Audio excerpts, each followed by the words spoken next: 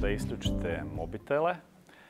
A, još jedan put dobro večer svima na Remote Work. Kako rade 100% remote firme, u ovom slučaju Jambox i Tesdom, koji su i sponzori predavanja.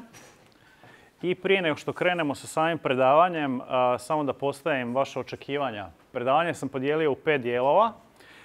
šta ljudi kažu za i protiv remote worka. Jambox koji je krenuo sa klasičnim uredom i kako je onda napredovao u remote work. Koja je razlika između sinhronog i asinkronog rada. Kako smo napravili prebacivanje u rad na daljinu i koja su naša iskustva best practices i šta radimo danas i šta bi preporučili svima drugima da rade. Malo o firmama. Jambox Software sam ja vlasnik, imamo šest zaposlenih, imamo preko 6000 stranih kupaca. Prodajemo komponente za programere, znači programerske API-ove. Tezdom.com su vlasnici Mario Živić i Željko, osam zaposlenih, preko 3700 stranih kupaca i prodajemo online testove za zapošljavanje. Ovo je naš tim u modu kad nismo remote working mod u jednoj lijepoj konobi, malo smo imali team building. Ovi sa naranđastim majicama to su Jambox, a sa plavim su Tezdom. E sad, ljudi su iz nekog razloga jako podijeljeni oko remote rada. Mnogo ljudi su izišto protiv, a mnogi ljudi se kunu u remote rad. A možda jedan poznati primjer je Marisa Mayer koja je bila CEO Yahoo-a, koja je kao prvu stvar koja, koju je napravila kada je došla u Yahoo zabranila postojećim remote workerima da rade remotely. I to je izazvalo dosta, dosta bure u novinama, među ostalim zato što ona je kao drugim zaposlenicima zabranila da rade od kuće i ona je stalno bila u uredu, ali sobu do svog ureda je napravila nursery za svoju bebu koja se rodila, tako da u principu imala je kuću, kuću u Yahoo. A neki koji su jako za remote work su uh, Jason i David iz 37 Signals firme, koja je najpoznatija po Basecampu, koja ima preko 2 miliona korisnika. Oni su napisali knjigu Remote Office Not Required, koja je nekako bestseller u ovoj domeni gdje opisuju kako cijeli Basecamp radi bez da imaju ured. A imaju neke knjige za koje ja sam nisam siguran da li su ovaj, za remote working ili su protiv remote workinga. Jedno vrijeme sam malo putovao po, po Aziji i onda kada sretnate ekipu digitalnih nomada, svi su proštali ovu knjigu. Ovo je kao Biblija digitalnih nomada. I što se tiče strane zaposlenika, snažno preporučuje remote work. Međutim, kao vlasnik firme nisam baš siguran da je to pro remote work zato što u knjizi bazično preporučuje da radite remotely za firmu, da ne steknete povjerenje. Kad steknete povjerenje, onda nađete nekog Indica ili Filipinca da radi za vas, a vi radite samo 4 sata tjedno. I nažalost ta ideja je malo i previše popularna i neki od naših zaposlenika su probali to izvesti u remote modu, a kako je to prošlo to ćete saznati. E sad, Jambox je krenuo sa klasičnim malim uredom na Vrbanima 3. bio je lijepo slatko uređen, imali smo tehnopaneli namještaj, police s knjigama. Ja sam stavio ponosno svoje diplome na zid i imali smo čak i ove stvari, ovaj, faks mašinu, printer i fiksni telefon, a sad to izgleda jako arhaično. I iako je ured izgledao lijepo i nas je u jednom trenutku bilo četvoro koji smo radili u uredu, ja sam nisam bio zadovoljan. Zašto nisam bio zadovoljan? Pa radeći u uredu prakticirali smo usmeni project management, što je u principu bilo zaposlenici kada ih nešto zanima pitaju mene. Ja im dodjeljujem radne taskove i jedan od prvih problema je bilo što sam ja stalno morao biti tamo da bi posao e, neki bio napravljen, ali ako mene nemaju, nemaju koga pitati, e, je li ovo dobro i šta mi je sljedeće. A, zaposlenici nisu imali sliku što se događa, ali ni ja nisam imao sliku što se događa zato što a, nemate nikakav sustav koordinacija tih radnih zadataka, a ne znate u kojem su statusu ti tiketi, da li su napola gotovi, da li su tek započeti, kad programer procjenjuje da što biti gotovo.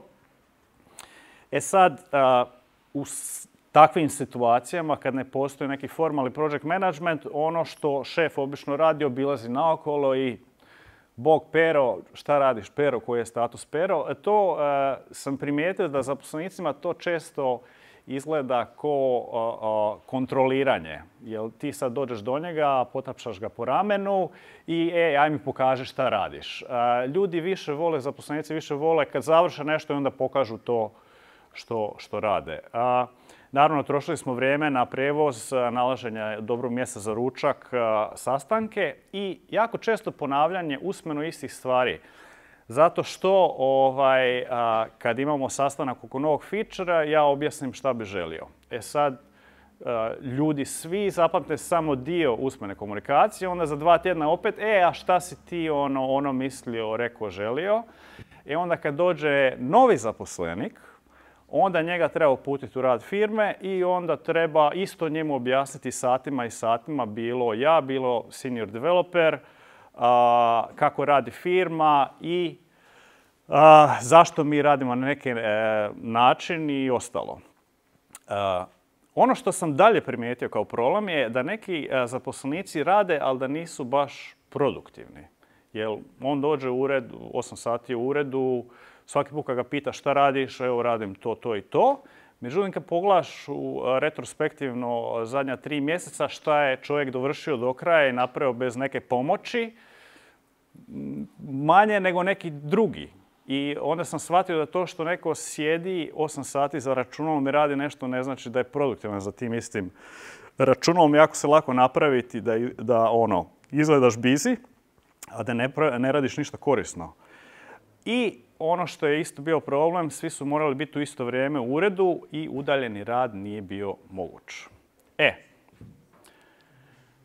onda sam shvatio jednu stvar, a to je da takav project manager koji sam vodio, usmeni project management, u principu uopće nije project management. Znači, ako nije zapisano, a nije project management. Iako se često koristi kao zamjena, ali ne.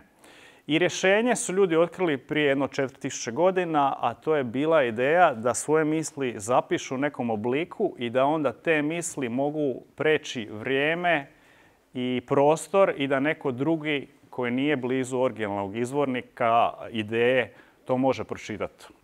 E sad, ovdje imate jedan stari tablet sumeranski iz Mezopotamije 1900 BC i Majc dobiva ko točno prepostavi šta je Sumeranima bilo toliko bitno da su htjeli to zapisati na tablet da stoji vijeke vjekova. Molim? Ne. Ne. Recept. Recept za Pivo. Recept za pivo, da. To je najstariji e, svjetski recept za pivo. E sad, zašto su oni to zapisali, ne znamo, jer su znali na pamet recept za pivo, ali su rekli za svaki slučaj mi ćemo to upisati u kamen. I evo, 4000 godina kasnije, neko je po tom prevedenom sumeranskom receptu napravio kopiju ovaj, piva i evo, izgleda kao Erdinger Weissbier.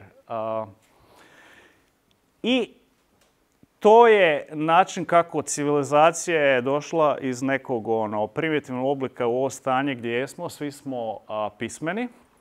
Međutim, ono što me iznenadilo da u firmama postoji jako veliki otpor prema pisanju. Ljudi imaju stav da su to morali raditi u osnovnoj, srednjoj i na fakultetu, ali sad kad su na poslu, sad ne moraju ništa pisati. I ne samo to, nego i ljudi koji su spremni nešto napisati, imaju otpor da to rade u online toolovima. I ono što sam vidio u par firmi kad sam došao u posjet je ovo. Znate svi šta je to. To je Project Management Kanban board, ali je napravljeno tako da je neko stavio postite i na postitima piše ko treba kakav task napraviti. Jedna kolona je next, druga je now, blocked i zadnja kolona je done. E sad, mislim, to je bolje nego usmeni project management. Ali nije baš ni puno bolje, zato što imamo alternativu. Alternativa je isti takav board, samo što je online. I šta sad tu dobijemo? Dobijemo čitljivost. Ako pogledate pažljivo, neki od ovih postita se ne mogu pročitati, zato što je rukopis. A možemo taj board, e, imamo ga online, znači možemo raditi udaljeno. Imamo pretraživanje po tasku, po osobama, po datumu. E, imamo filtriranje, imamo linkanje. Znači, kako bi sad na ovaj postit stavili da je to linkamo tu stranicu ili neki dokument? nikako. A, imamo screenshote, to je jako korisno u bilo kakvom project managementu. Ovdje bi trebali imati Polaroid i onda lijepiti fotke na, na board. A, integracije, želite se integrirati recimo sa version control sustavom, email notifikacija kad neko, ja ako ovdje na post dopišem e Pero pripazi na ovo, Pero to neće vidjeti osim ako ne dođe taj dan i pogleda na taj posjet. A, I imamo arhivu. Doduše i ovdje postoji arhiva samo što je koš za smeće sa strane ploče. A, I ne znam zašto, a, neki ljudi koji se čak i bave ono, project managementom i konzultanti su dođu u firmu i uvedu ovakav neki sustav sa posjetima. Mislim, to ima stara hrvatska narodna poslovica, ček se pametan stidi, dovršite dalje. A, drugi problem koji su ljudi identificirali u firmama jeste zato što im se ne da ne da im se dokumentirati nešto ili izražavati u pisanoj formi, najlakše je sazvati sastanak. I ovi koji su napisali knjigu Remote su u toj knjizi i napisali frazu Meetings are toxic. Zašto su meetings toxic? Zato što ako imate 10 ljudi na sastanku, sastanak traje sat i pol vremena, čestitam upravo ste potrošili 15 čovjek sati koji su vratno mogli biti potrošeni na puno bolji način. I oni su e, dali guideline. Prvi guideline je što manje mitinga, ali ako morate imati meeting, onda ovaj, stavite timer na 30 minuta kad istekne meeting je gotov. Uvijek se unaprijed treba znati o čemu je meeting i koji je plan i o čemu se raspravlja, tako da ljudi stignu proučiti prije. I na meetingu treba biti što manje ljudi moguće. Idealno 2, 3, 4 i ja bih rekao da ono, ako meeting ima više od 5 ljudi, da nema smisla miting koji je imao 20 ljudi i traje ono sat vremena je besmislen. Samo kažem. Po svim management knjigama takav miting je besmislen. A onda ono što ljudi često kaže, ne mogu to objasniti u dokumentu. Ne mogu to objasniti u dokumentu, previše je komplicirano, moram ja imati sastanak i moram to usmeno svima objasniti. E sad, to je zanimljivo kad ljudi to kažu, zato što recimo Tim Berners-Lee je opisao cijeli World Wide Web ideju kako to napraviti u 21 stranicu proposala. Što je tada bio dosta abstraktan, abstraktna ideja, ali on svejedno to uspio ovaj, opisati.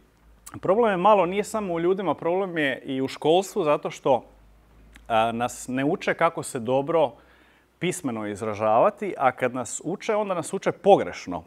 Bitno je zadovoljiti formu i bitno je napisati što više stranica. Recimo, recimo Tim Berners-Lee ne bi moglo diplomirati na feru, jer na feru diplomski treba imati barem 40 stranica. Znači, dobar je tim, ali nije dovoljno dobar za fer. E sad, kad sam razmišljao o tome, dosta, sam zaključio da dilema nije remote kontra uredskog rada. To je nova dilema. Ta dilema postoji 20 godina i ljudi zadnjih godina diskutiraju o tome. Ali nije to prava dilema. Prava dilema kako treba fremati problem je asinhroni i sinhroni rad. Zato što kad problem postavite unutar tog okvira, ljudi su radili asekrono stotinama godina i naučili su kako biti produktivni u asinkronoj formi. A prva domena ljudskog znanja koja je to uspjela postići je znanost. Znači, znanstvenici prije nisu imali ni telefone, niti e-mailove, niti Skype, niti mogućnost da sjednu avion odu na konferenciju. I onda su to sve rješavali pisanom komunikacijom. Evo, ovo je zanimljiva stvar.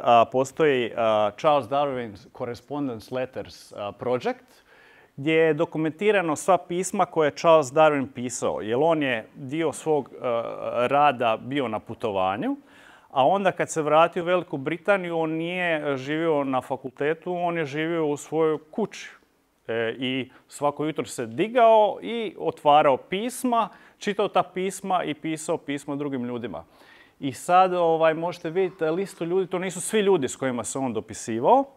Ovo su samo ljudi koji su nakon 150 godina i dalje toliko slavni da imaju Wikipedia stranicu. A ovi sa zvijezdicom su ljudi s kojima je razvijenio više od stotinu pisama. Prema tome, znanost zna kako se radi asinkrono i vi često kada čitate neke znanstvene radove vidite da je taj znanstveni rad nastao od tri profesora, jedan je sa Stanforda, drugi je iz Londona, a treći je iz Beijinga iz Kine. I možda se profesori nisu ni upoznali, su zajedno napisali rad. Ono što je nama bitno je da se to sve promijenilo sa dolaskom interneta, ali je to postalo puno lakše nego pisati pismo i čekati 10 dana da pismo negdje dođe. I sad sam se ja zapitao koji su šampioni remote rada, to jest asinkronog rada na internetu i moj zaključak, moje mišljenje jeste da su to open source projekti. Zato što kad gledamo, većina open source projekata imaju 100% remote rad, oni se ne sastaju nigdje i većina njih su, rade 100% asinkrono. Znači oni nemaju video kolove e, niti nešto slično, nego diskutiraju preko foruma, preko četa, preko dokumenata. I mislim da open source svijet pokazuje da su oni produktivni ili ja osobno ne znam ni jednoga programera koji, koji većinom radi na open source-u, ali evo gomila softvera koji koristim jeste open source. Znači očito nekako uspijevaju tu gomilu programera, volontera organizirati da naprave nešto korisno kao što je Linux, Chrome, Firefox, Android.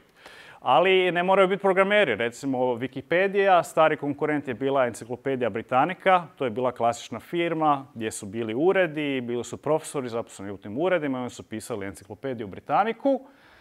A evo, Wikipedia je svako sa bilo koje kraja svijeta može uređivati Wikipediju koja je sada eh, n puta veća od enciklopedije Britanike. Ono što je zanimljivo da je jako kompleksne stvari se mogu odraditi remotely. Recimo cijeli internet eh, je eh, napravljen remotely. Ne postoji neka centralna lokacija gdje se ljudi dogovaraju oko internetu. Postoje te organizacije tipa Internet Engineering Task Force, kada imaju ideju za novi standard, onda publishaju uh, request for uh, comments i onda ljudi sa drugih kontinenta čitaju taj RFC, daju svoje prijedloge i na kraju se dogovore koji će standard biti. Tako da evo, ako vas neko pita šta je pametno ikad napravljeno sa remote workom, možete mu reći uh, cijela znanost, cijela književnost, sav open source i internet. Ja mislim da je to dosta dobar skor ljudi koji su radili prvenstveno remotely. E sad, nakon što sam ja sve to zaključio, onda sam i zaključio da trebam rasformirati cijeli ured.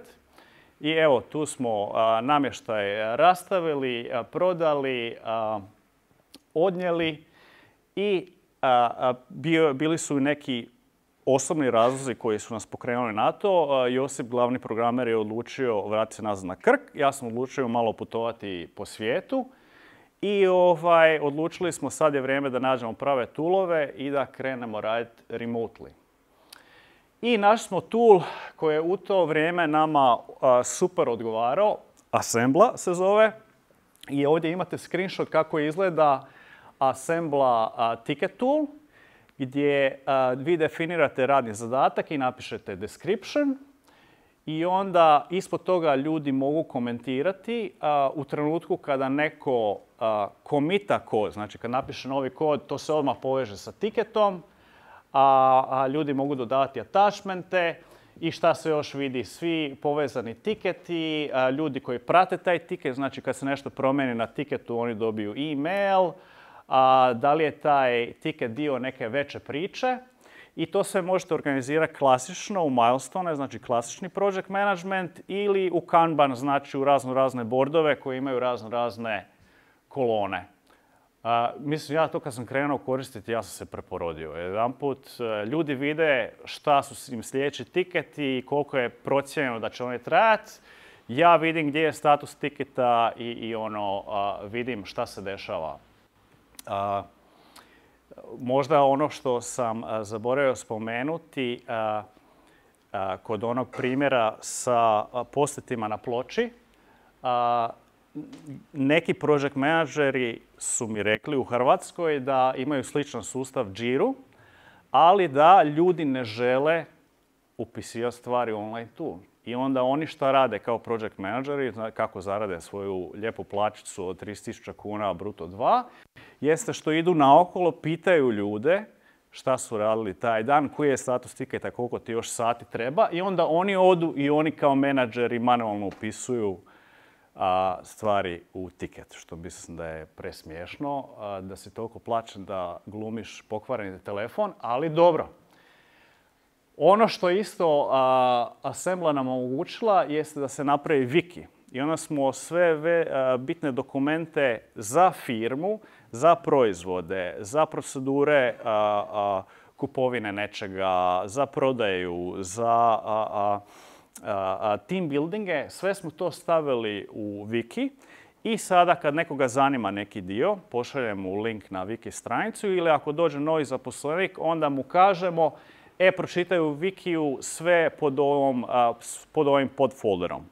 I tu mu je sve opisano i to je super zato što nikomu ne treba to objašnjavati i a, a, mi nećemo potrošiti vrijeme na to, a on će se uvijek moći vratiti na to i ponovo pročitati. E, osim tiketa i osim Wikija smo krenuli koristiti Google Documents za remote work u trenutku kad trebamo dogovarati nove feature ili diskutirati oko nečega. Google Documents je spektakularno dobar alat za remote work.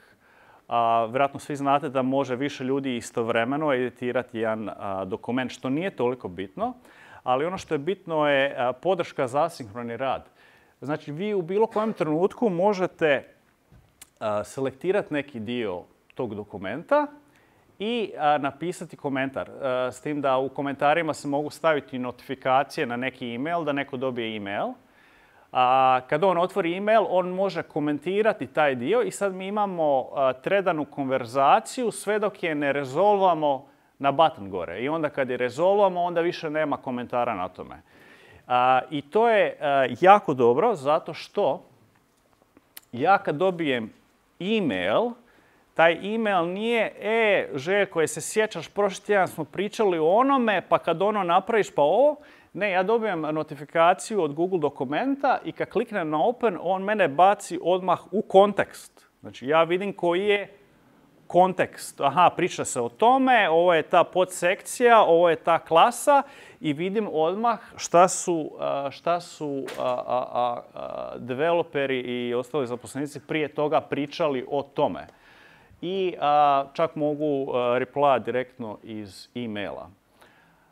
A, sljedeća stvar koju smo poboljšali je dobili smo cloud version control sa Assemblom. Prije smo imali version control server koji je bio lokalni i ovo je bilo, ovo je bilo primjetno bolje. Vidjeli smo točno ko je, koji je dio koda napisao i mogo je, da zanimljivo je kod ovakvog web interfejsa da vi možete poslati link nekome točno na file, točno na metodu, točno na liniju koda. Jednostavno u Skype-u kažem šta je ovo, pošaljete liniju i u web browseru vam se otvori točno označena ta linija koda. Umjesto da mu objašnjavate, e, otvori ovaj projekt, otvori taj file i onda u tom failu pogledaj liniju 27. A, za stvari koje nismo mogli riješiti pisanom formom, smo krenuli koristiti Skype, međutim, a, radili smo uvijek zapisnike tih sastanaka i koristili smo software koji se zove Ecom Call Recorder koji može snimiti audio, ali može snimiti i video cijele konverzacije. A, I onda kasnije, nakon što odradimo sastanak, ako shvatimo da neki dio je bio bitan za nekog drugoga, onda mu pošaljemo link na video i kažemo, je Nenade, gdje si poslušao ovaj video od 20 minute nadalje. A, I onda on vidi taj dio koji je e, vezan, vezan ovaj, za nas. Ili možemo napraviti meeting bez da je neko prisutan, kasnije mu pošaljemo video od toga što smo dogovorili. A, I pojedanput je poslovanje krenulo na bolje. postoji izreka da najbrži put do ureda bez papira je basti printer. A ja bih rekao da najbrži put do remote ureda je da svi krenu raditi remotely. Onda su jednostavno prisiljeni naći tulove koje im omogućavaju remote rad. I to me iznadilo, bio sam jedan put u San Francisco i otišao sam u Heroku i Heroku ima jako lijep ured, to je cigla po zidovima, downlighteri, imaju skupu mašinu za kavu. I sa jednim zaposlenikom sam pričao i on je rekao da dobro da sam došao danas u četvrtak, sutra je petak, sutra svi rade od doma. Kao, pa zašto svi radite od doma? Svi radimo od doma zato što su imali jednu četvrtinu zaposlenika, jednu petinu koje radili remotely. I onda su shvatili da ti koji rade od doma a, ispadnu iz petlje, to jest, budući da nisu u uredu, ne čuju neke razgovore, ne pričaju s kolegama za vrijeme ručka ili nisu na nekom brzom sastanku koji se ovaj, održi i da je to problem. I onda je management firme rekao, iako imamo lijepe urede, mi ćemo petak proglasiti remote Friday i cijela firma petkom radi od doma, tako da se svi u firmi nauče kako postaviti poslovanje i dokumentaciju da do toga možeš doći iako si remote zaposlenik. jedna isto prednost remote poslovanja je bilo to što budući da zaposlenici nisu mjereni po satima u uredu, a su mjereni po učinku. Vi pratite svaki tiket, kako je čovjek riješio, koliko sati je riješio taj tiket. Možete ono, pogledati njegov kod svaki put kad on komita. I imate bolju sliku preko online tula koliko je u stvari ta osoba produktivna. Međutim, nije sve idealno. E, najveći problem kod remote rada smo mi imali sa zapošljavanjem. I prvo što smo krenuli je sa idejom, e, sad smo mi remote firma, sad možemo zaposliti jeftine ljude iz drugih krajeva svijeta. I krenuli smo koristiti Odesk, sad se to zove Upwork. I to baš i nije dobro uspjelo. evo, za drugu majicu, za drugu majicu, ovaj, da li iko zna šta je Market for Lemons? Tako je. Šta je Market for Lemons? tržište za aute koji se ne kvare. Nije, nije. za mehaničar. Ajde, bar pola. Reste. Ne, ne. Mislim, tržište loših radnika je ono lemon market, ali... E, to, to, je, to je najbliže definiciji. To je, spuštanje cijena zato što jedino što možete vidjeti cijena, to se dešava sa tržištem polovnih automobila. Ako imate, ne znam, Opel Astru 2005. godište, te Astre dolaze u prosječnom stanju, ispod prosječnog stanja i dolaze u iznad prosječnom stanju. E sad, budući da vi vidite samo cijenu, vi kupite najjeftiniji auto, jel tako? A onda onaj koji ima dobro održano auto, koji nije udaren, koji, nije, koji je redovno servisiran, nema razloga da prodaje dobar auto. Ali onaj ko ima, ko nešto skriva, on ima najveći incentiv da proda auto po toj cijeni koliko se prodaje automobili. I upravo to se dešavalo na Upworku. Vi jedino što vidite na Upworku je cijenu koliko neko, neki remote employee traži po satu. I on to, svi imaju ocjene 5, svi imaju recenzije, svi su, svi su super. A, međutim, vi kad krenete raditi, shvatite da većina tih zaposlenika je loša. I onda shvatite da ovi dobri programeri, ovi seniori, uopće nisu na Upworku, jer oni kad stave oglas koji je po tri puta više dolara po satu, niko im se ne javi. I onda oni odu na druge platforme. A, I ne samo to, mi koji smo problem imali sa Upworkom je bilo jako zanimljivo. Javi nam se na oglase za posao neka osoba iz Azije i lijepo priča engleski, e, jako je komunikativna ovaj, preko Skype-a, preko e-maila, pošaljemo joj test i test je riješen e, jako dobro, odlično. Mi zaposlimo tu osobu i onda odjedanput kvaliteta posla padne. Kao da to nije ista osoba. A razlog tome je što nije ista osoba. Zato što u Pakistanu, Indiji, Filipinima, Indoneziji postoje jako puno malih outsourcing firmi. Obično šef firme je stručnjak koji dobro priča engleski, jako je ljubazan i stručnjak je za rješavanje testova i on ganja nove poslove. Čim on dobije novi posao, on delegira svoj posao nekome koji je junior, radi dva mjeseca i ne priča engleski. Tako da smo odustali od toga i zahtijevamo da remote zaposlenici su uvijek na Skype i da ga može dobiti na Skype i vidi da je on stvarno taj zaposlenik. ne radimo sa agencijama. I ono što smo koristili je oglase smo stavili na moj posao za sve županije, jer možemo zaposliti bilo gdje u Hrvatskoj. I website koji je specijaliziran za ovaj, remote work, weworkremotely.com. I onda nam se ljudi javljaju i mi ih kao prvi korak testiramo. Ali sa kratkim testom. Ne znam, jel vidite, evo ovaj što je riješio 100% je potrošio 11 minuta na test, ovaj ispod toga 9 minuta na test. Znači, test ovaj, multiple choice pitanja, 3-4 pitanja, za 10 minuta ste gotovi. Ali usprkos tome što test nije kompliciran i težak, od 230 kandidata, 201 ne zna odgovoriti 70% na tih četiri pitanja. I što je nama super, znači od 230 kandidata, mi smo sada sa testom testom stali na samo 28 kandidata koji nam dalje šalju CV. u tom trenutku počnemo čitati CV i razmenimo e-mail i onda ih pozovemo na kompleksni i duži test. I nakon toga imamo Skype intervjue. S tim da Skype intervju radi jedna osoba u firmi, ali mi te Skype intervjue snimamo. I sa svim kandidatima za jednu poziciju mi imamo set pitanja koje napravimo za tu poziciju. Zašto? Da možemo uspoređivati različite kandidate. Ako svakog kandidata pitate druga pitanja, onda ih je teško usporediti. I ovaj, evo vidite, tu su znači intervjus je ovaj, lista ovaj, svih tih kandidata koji su ispitivani, a ovdje imamo zapise Skype razgovora.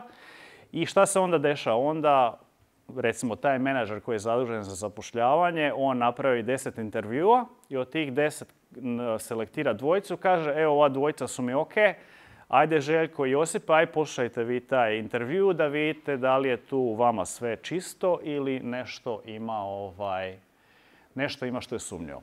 Međutim, usprkos tome, usprkos tome moram priznat da smo imali problema sa nekim zaposlenicima. Nazvat ću ih zaposlenik M, zaposlenik L i zaposlenik R. E sad, sva tri su imala isti pattern.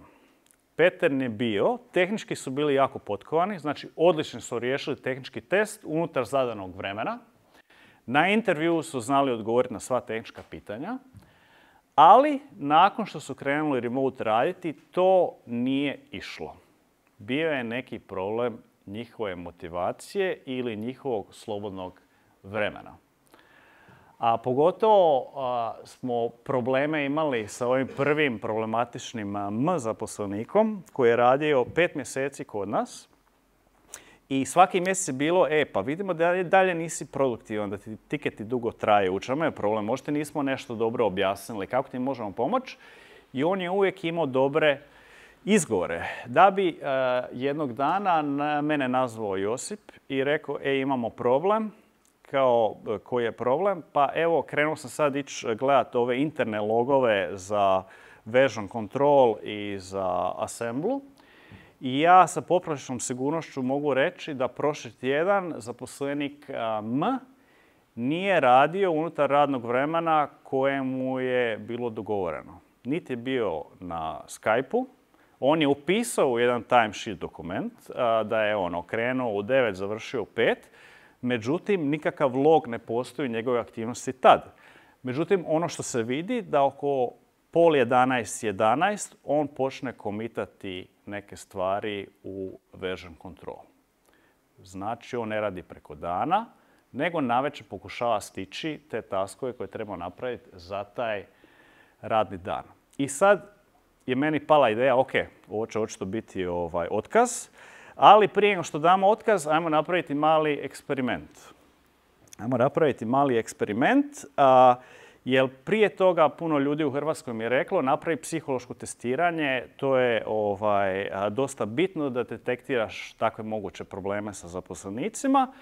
I onda sam rekao pa možda bi to riješilo ovakve probleme i predložio sam tom zaposleniku, ej, i dalje nismo 100%, možda ono, neki stručni ono, psiholog može pomoći, šta kaže da napravimo testiranje, on se složio.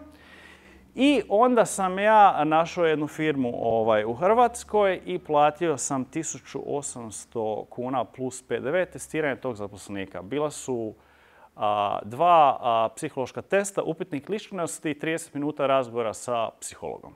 Znači 1800 kuna plus PDV po osobi. I sad, dan poslije sam dobio rezultate. I sad ovdje imate screenshot od istog PDF reporta koji ima 5 stranica.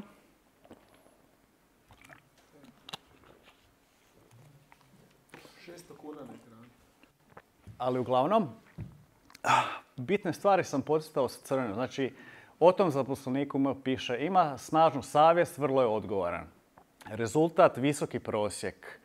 I na dnu piše može se razviti u jako dobrog, samostalnog i kvalitetnog radnika. I sad, šta se desilo poslije toga? Ja sam pozvao tog zaposlenika na razgovor, pokazao sam mu sve logove koje smo imali od prošlog tjedna, koje je Josip analizirao. I on je priznao da taj tjedan nije radio za vrijeme dana, nego da je svaku večer pokušavao nadoknaditi taj rad u par sati. Mislim da je jako pametan da može odraditi 8 sati posla u 2 sata.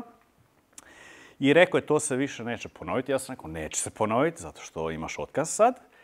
E, a nakon toga sam replyao toj firmi za psihološko testiranje. Rekao sam taj zaposlenik smo mu dali otkaz zato što je na kraju čovjek priznao da nije radio remote. Da nas je lagao, da nam je manipulirao. I to opet, znači to je bio njegov plan i sustav da, da dobija plaću, a da radi manje. A, I dobio sam odgovor od firme. Jel vas zanima odgovor od firme na to? E, mislim da će vam biti zabavno. Znači, e, oni su e, rekli, je, firma je Smartflex. Firma je Smartflex. A, kao, imali ste konkretnih poteškoća, bla, bla, bla, žao mi je što nam niste iskomunicirali konkretne probleme koje s njim imate kako bismo se mogli više uspjeti na kritična područja. Znači, ona je meni odgovorila, ta gospođa iz Smartflexa, zašto mi niste rekli koje probleme imate s tim zaposlenikom, da vam ja kažem nazad da imate te probleme s tim zaposlenikom. I sad, ono što se ja isto žalio, on je u tom uh, profilu ličnosti ima iskrenost jako visoku. A nama je lagao pet mjeseci.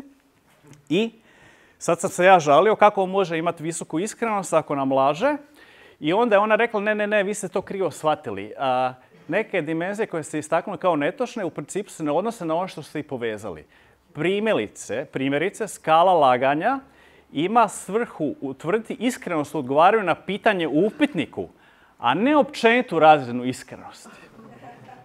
Znači, ono što oni mjere je da li si ti iskren u testu, a ne da li si ti iskrena osoba. I sad je meni bilo pitanje, a zašto bi onda mjerio iskrenost ako nema nikakve veze sa iskrenosti te osobe. A, evo, zaključak e, je da ne koristimo psihološko testiranje više. I, to je jedan uzorak, ali reću vam još jednu stvar. Ona je napisala mail od dvije stranice, ali nije ponudila vrat novac.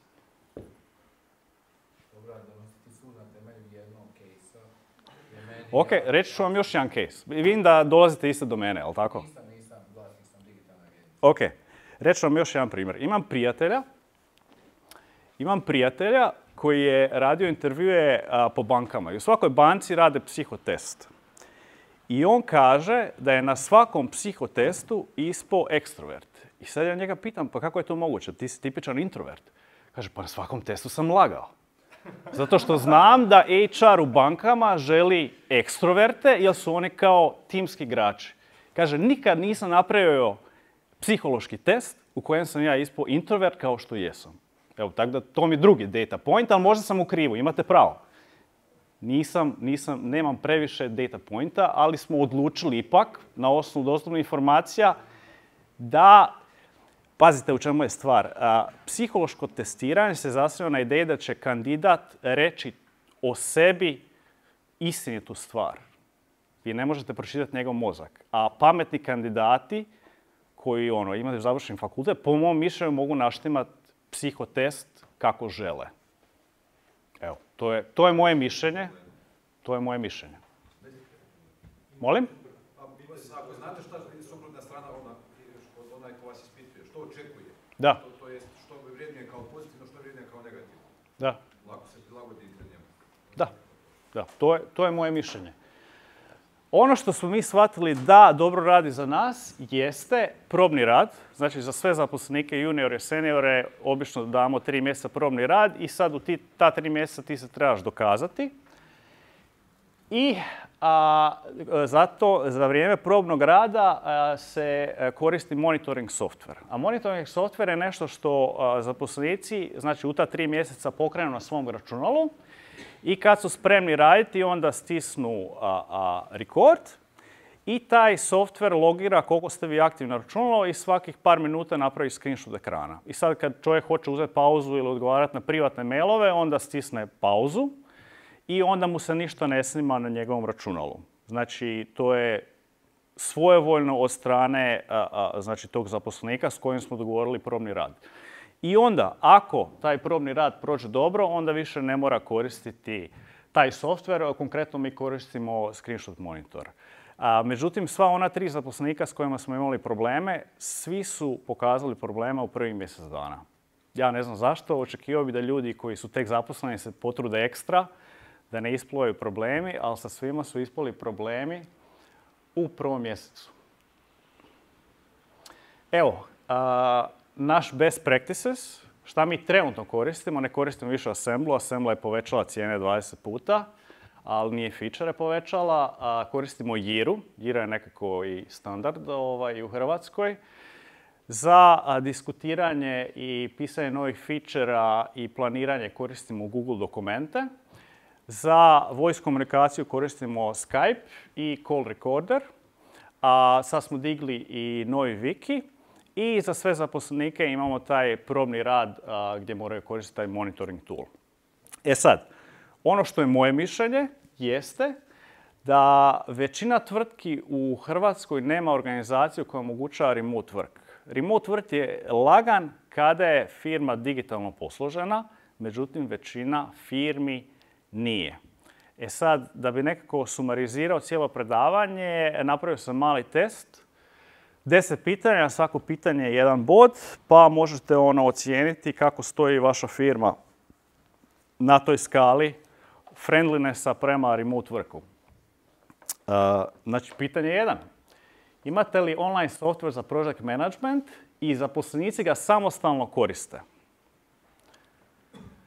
Imate li verzioniranje koda i dokumenata ili zaposlenici šalju e-mailove sa new budget final 3 XLS i onda tako rade verzioniranje.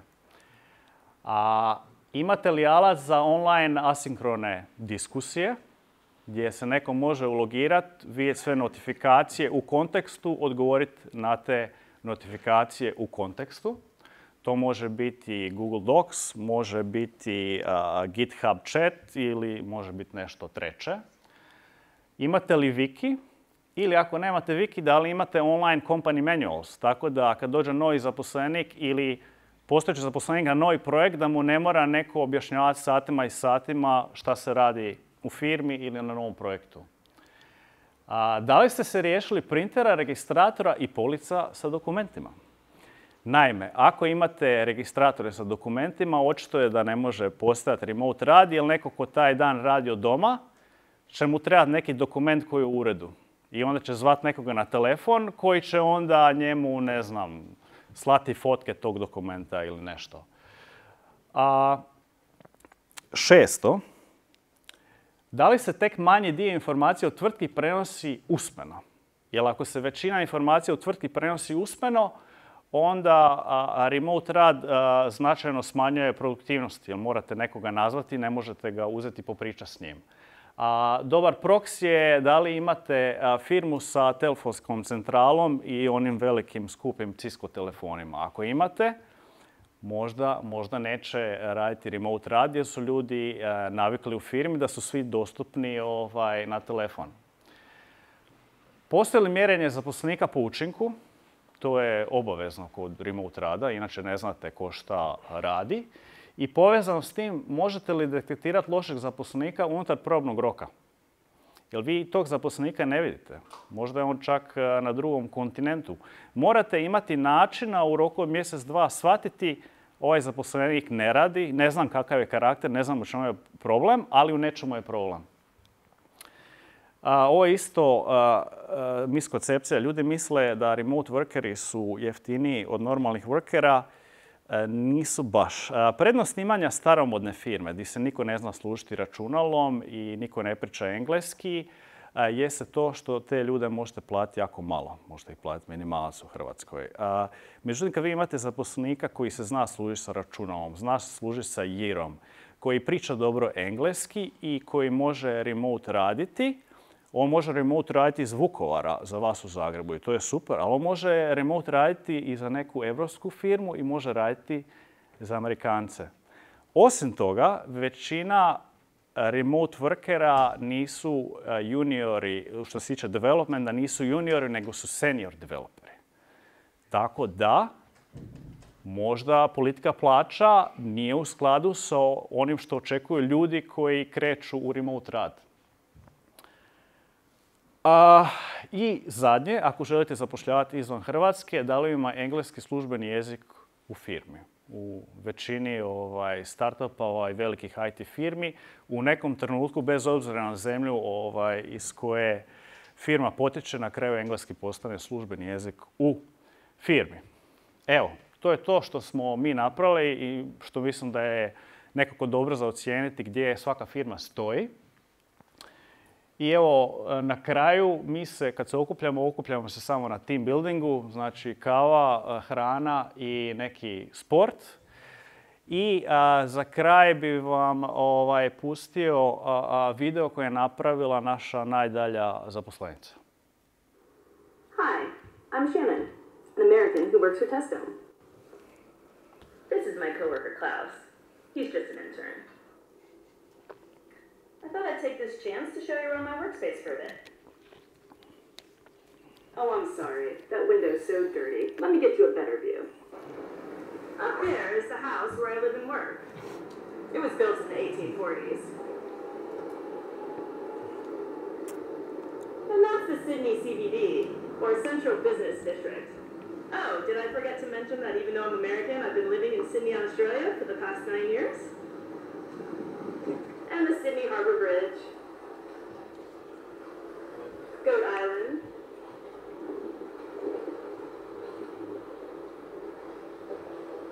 So this is your reminder. Take advantage of the flexibility of remote work, where you can really live and work from anywhere you want.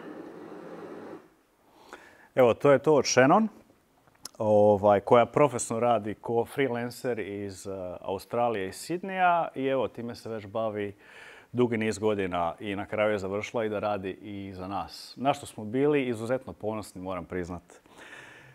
Toliko od mene, sad je red na vas da postavljate pitanje. taskova, acceptance kriterija s vaše strane povećao i da li vas to kao developera odmaknulo od developmenta, jer ajmo reći, znači, postoje ono uvijek u developmentu sitni detalji, e, hoću ovo ovako ili onako, kako to rješavate, mislim, jer ne možeš baš sve napisati u acceptance kriteriji po backlogu, jer ono, ili ako piše ono da traje 3 dana, a to je nešto što se prenese ono usmeno u 30 sekundi, čovjek to napravi u 5 minuta, da taj management taskova ne preraste sam rad.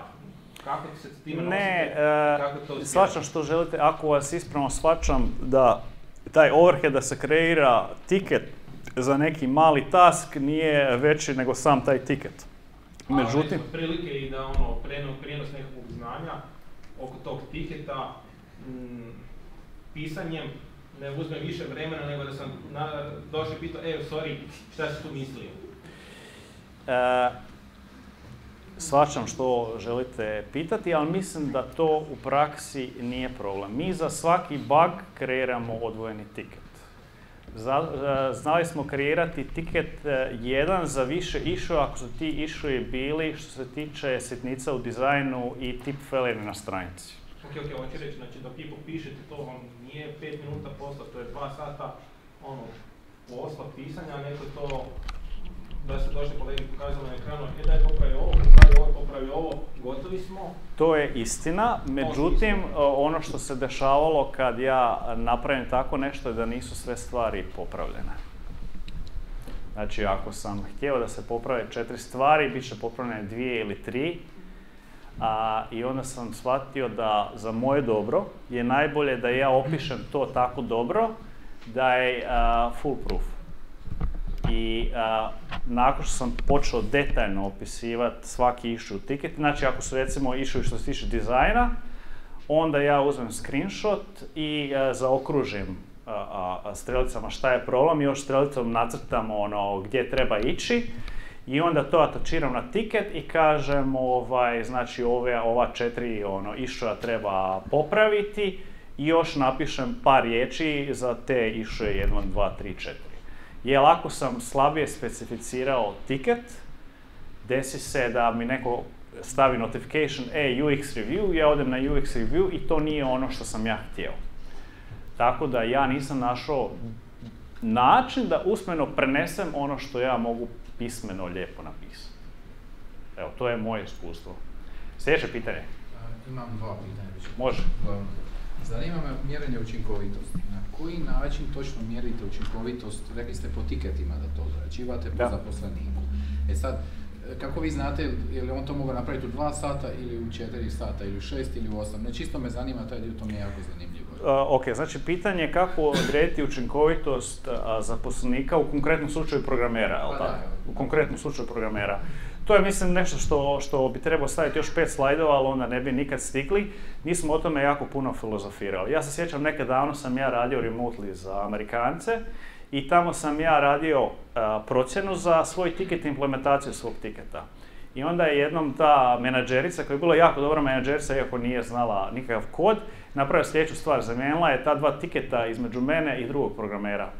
Znači ono što sam ja estimirao za sebe, to je on trebao u tom vremenu napraviti, a što je on estimirao za, za njega, to sam ja trebao napraviti. I sva sreća, ja nisam varao u tim estimatima. Ali ono što je generalno dobra praksa je kada ljudi rade procjenu vremena na tiketu, da ne rade za sebe procjenu vremena, nego za generički tiket. Znači, tiket je unassigned. I onda ljudi kad završe svoj trenutni tiket, odu na, na log, na board i uzmu top tiket. Tako da vi kad pišete procjenu vremena ne znate da li a, a, će taj tiket biti za vas ili za nekog drugog. A, I onda smo imali ideju da ćemo mjeriti, znači, nakon šest mjeseci mi imamo dobru statistiku, da li neki developer prosječno napravi tiket na vrijeme, da li ga prebaci ili ga napravi brže. Međutim, to nije 100% uspjelo kako sam ja htio, zato što je ipak ispalo da neki tiketi idu nekim osobama. Zato što ako je tiket bio za neku komponentu na Jambox Expressu, onda glavni programer na toj komponenti je to radio. I ta vremena nisu se pokazala kao najbolja i na Tezdomu su čak smo ukinuli po preporuci ovoga Founder Assemble smo ukinuli procjenu vremena na tiketima, na Jamboxu i dalje to imamo, puno je određeniji proizvod. Na Teslavu nemamo procjenu vremena na tiketu, nego sve tikete sortiramo u small, medium i large. I, i znači tu ne možemo raditi analizu da li je dva sata preko, ali ono što je sad pokazatelj kvalitete jeste code review.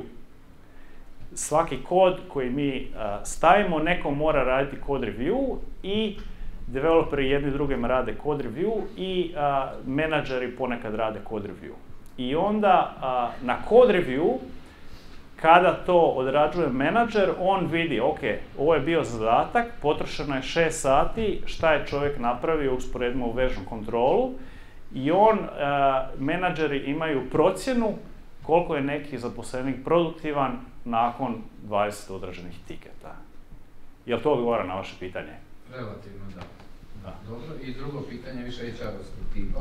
Da. Zanima me company culture, znači u vašoj kompaniji. Kakva je ta kultura kompanije? Zašto vas to pitam?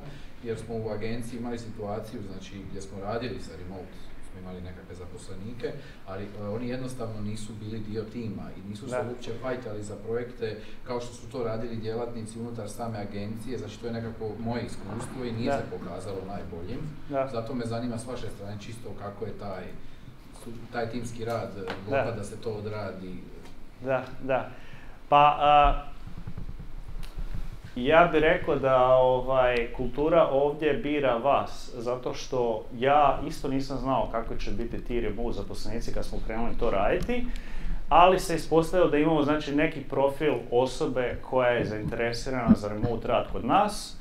To su obično introvertirani muškarci, programeri sa nekim iskustvom, kojima je dosta sastanaka i klasične hrvatske firme i oni samo hoće dobivati svoje zadatke i programirati od doma.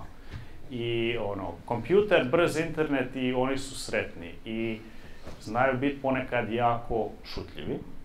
Ali evo, to je jednostavno tako kako se isprofiliralo. E sad, a, ja ne volim zapošljavati ljude po kriteriju znači company culture, zato što mi to zvuči malo bez veze, ono, sad imam tu osobu koja je očito dobar programer, koja dobro obavlja svoje tikete, ali ga neću zaposliti zato što, ne znam, nije zabavan. A upravo si rekao da je to vaš company culture, osoba koja je takva, takva i takva, i vi stvari tražite takve ljude? Ne, takvi ljudi traž, na, jave se nama na posao. Prihvaćate, Da, da, da, da, da. Pitanje? zašto zaposlenika E niste plaćali po učinku primjerice? Ako ste imate mjer, mjerljivo i jednostavno plaćali ga po tome koliko on tiketa riješio? Pa ima, problem je malo u Hrvatskoj bilo plaćanje po učinku. Prije nego što su ljudi krenuli raditi paušalne obrte, a, zato što se očekuje da imate plaću od mjeseca do mjeseca. Mi smo zaključili da nam je to najjednostavnije, a druga stvar, zato što nismo htjeli plaćati ljude po učinku, jer smo htjeli da i mi budemo full posao, da oni nemaju neki drugi posao sa strane. Znači, htjeli smo da to bude 40 sati tjedno, zato što onda ako imaju drugi posao možemo ih izgubiti ili oni mogu zato što imaju deadline na tom projektu predstaviti taj tjedan rad za nas i onda je to nama šteta. A, ali nije to zapisano u kamenu. Recimo sa Šenom smo se dogovorili da ona može i svoje projekte raditi ako stigne. Evo. Kako riješite potrebu za radnim mjestom svakom koji je remote? Ako neko, mislim, mogu raditi doma, ali... Uh, zna- postoje dva, dvije, dva modusa. Jedno je da se ljudi naprave uh, uh, radno mjesto tiho unutar svog stana ili kuće, znači obično je to radna soba.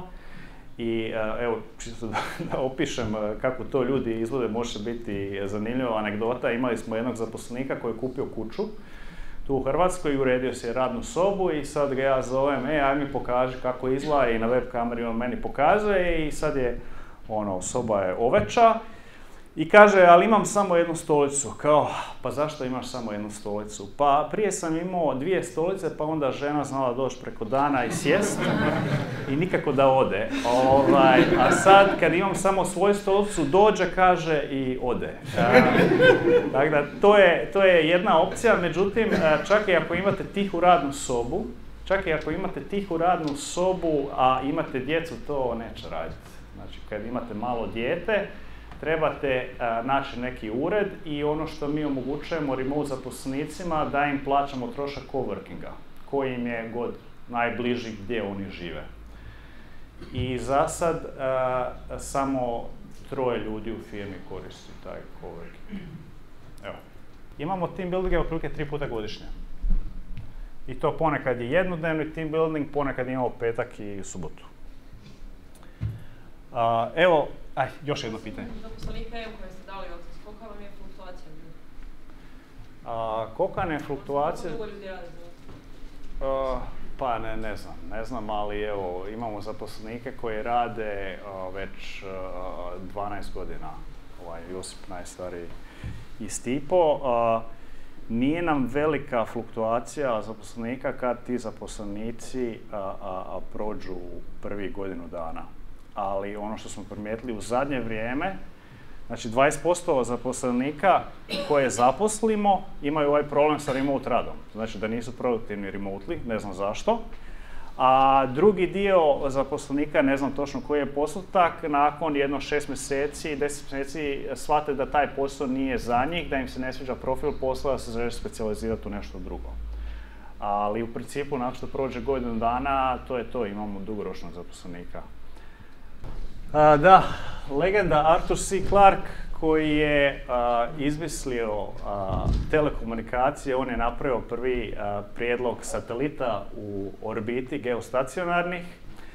I nakon što su ti telekomunikacijski sateliti postala stvarnost, čovjek je odlučio stalno živjeti u Sri Lanci u Kolumbu i tamo je imao kuću pored oceana i satelitsku brzu vezu i onda je dao intervjue za razno razne novine i televizije bez da se micao iz svoje kuće na Indijskom oceanu i tamo je živio sve do smrti.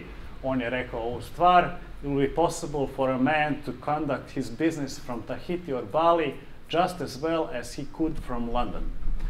I evo, toga se pridržavao. Svima vam želim u starim danima ovaj, da ćete moći slično kao i on živjeti pored oceana i komunicirati sa cijelim svijetom remotely. Hvala puno.